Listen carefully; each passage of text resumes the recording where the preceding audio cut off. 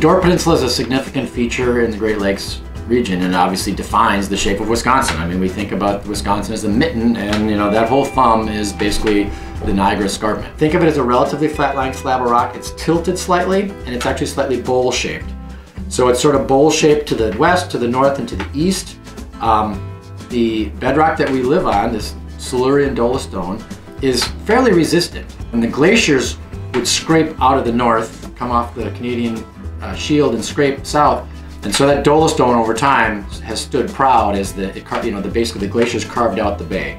Uh, that same slab is then carved by the Niagara River and Niagara Falls, and then it also continues into New York State, creating a huge gorge uh, downstream of Niagara Falls. Maybe the iconic species is the, the cedar trees that grow, grow along the cliff faces. You know, it, it's called arborvitae, tree of life. And there's a number of reasons why people call it tree of life, and they're all valid.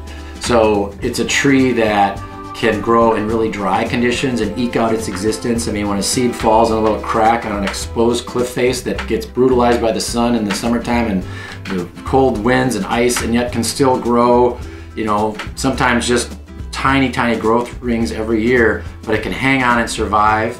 Um, I mean, some of those cliff trees are over a thousand years old, probably. We've never done enough study on the Door Peninsula to know and to find some of those um, cedar trees that are uh, of that age, but there's prob there's some candidates. Um, but we think of them as being huge, and they're usually not.